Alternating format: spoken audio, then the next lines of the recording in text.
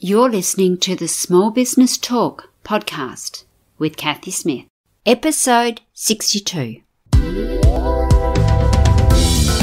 Small Business Talk is a podcast for business owners and entrepreneurs who want a better way to run their businesses without spending years doing it the hard way. Small Business Talk is hosted by Cathy Smith, who has run the same marketing agency for more than 17 years helped hundreds of business owners achieve their marketing goals. Expand or shrink? How is your business going to survive in this COVID 19 environment? Whether your business is open or closed, you need to be thinking about how to turn this situation into an opportunity. We can't change the situation we face, but we can change how we react to it. Are you seeing it as a grey, stormy cloud or as a silver lining ready for you to take the opportunity that is presented? Making the most of COVID 19, how are you going to do it? Today, that is our topic, and I've got a few suggestions for you. So let's start with the number one, and you've probably heard it a lot lately over the last few weeks. Stop panicking. Stop watching all the negative Chinese whispers that are going around the world. If you must check in, limit it to twice a day and limit it to actual credible sources, not just something you read on Facebook that somebody else has changed or tweeted or shifted. Get to the actual facts. Go to your government, to the World Health Authority, or one of those credible sources. Limit the amount of social media browsing you're doing. Limit the amount of social media that you are browsing. That's only going to take you down a rabbit hole, probably make you depressed, and basically waste your time, your energy, and frankly, probably your sanity. Number three, plan what you are going to do in the next 90 days and then beyond. Take a good hard look at your current situation. Where are you at?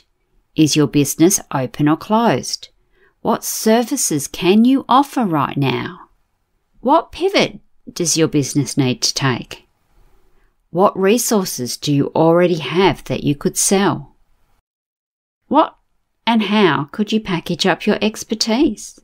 Here's a few examples of if you're in a business that normally sells face to face, in person, at markets, party plans, or events.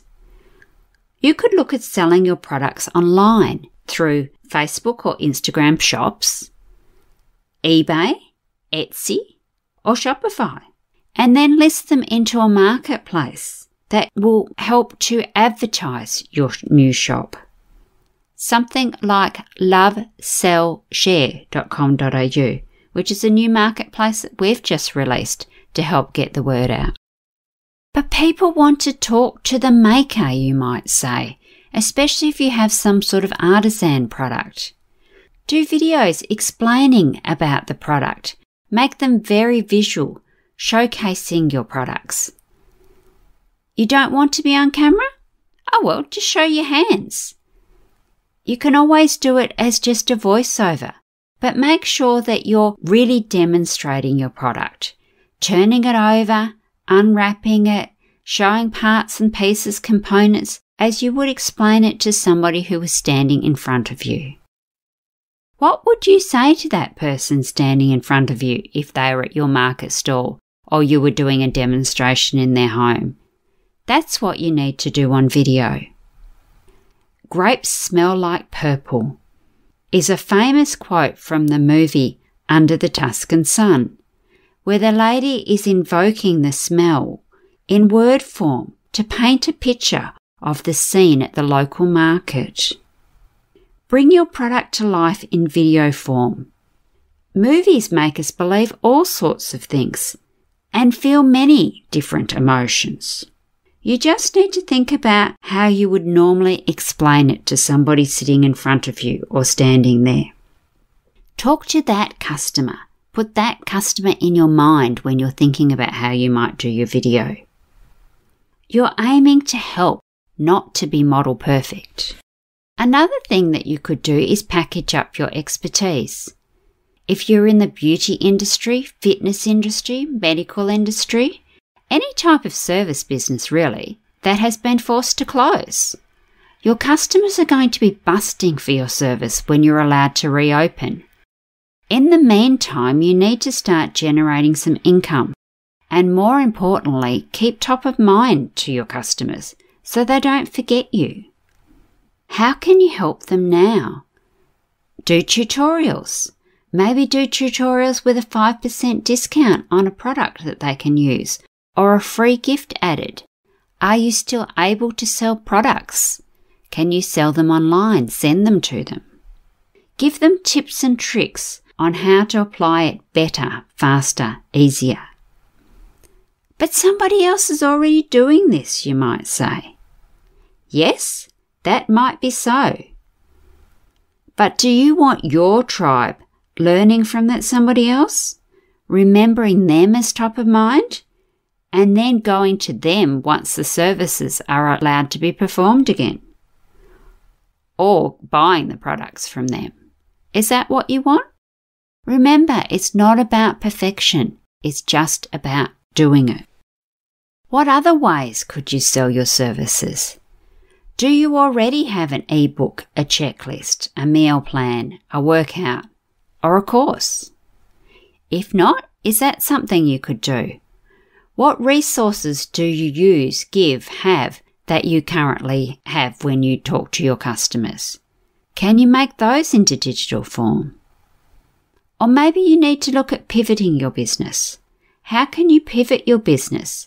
If you can't offer the services in the traditional way, then think about a way that you can. Maybe you need to add home delivery, a video link via Zoom or Messenger, or there's lots of other softwares out there to do one on one consulting or even group consulting. If you've only ever done one on one, is group an option for you now?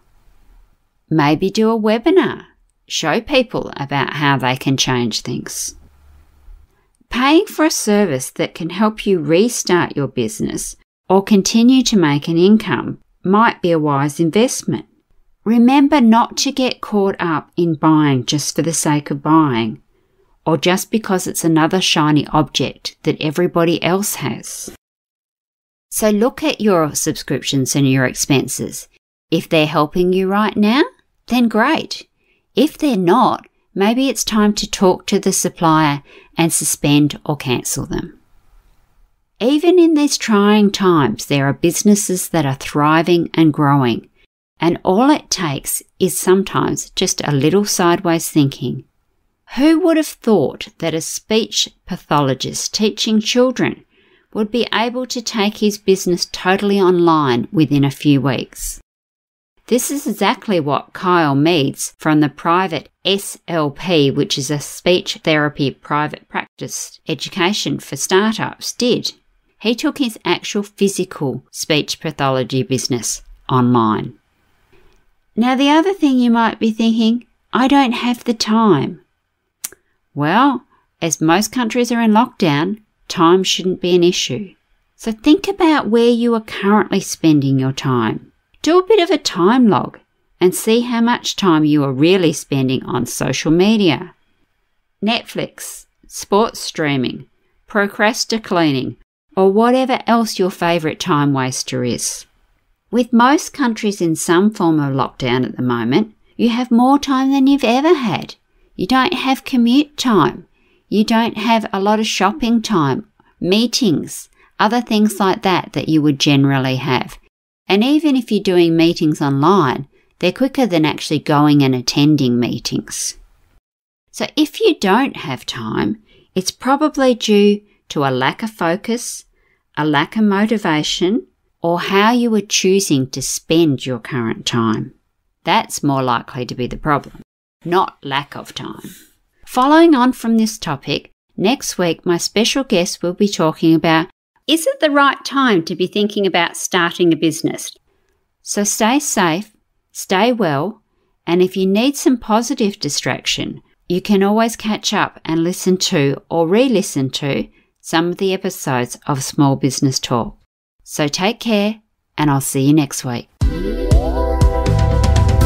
Don't forget to subscribe to Small Business Talk podcast and head on over to smallbusinesstalk.com.au forward slash downloads for all the show notes and links to this episode.